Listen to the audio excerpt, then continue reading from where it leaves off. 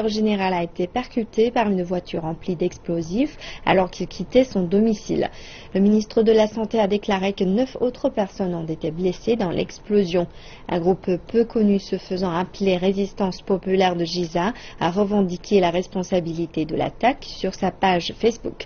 Les juges et d'autres officiels sont de plus en plus visés par les djihadistes opposés au président Abdel Fattah al-Sisi.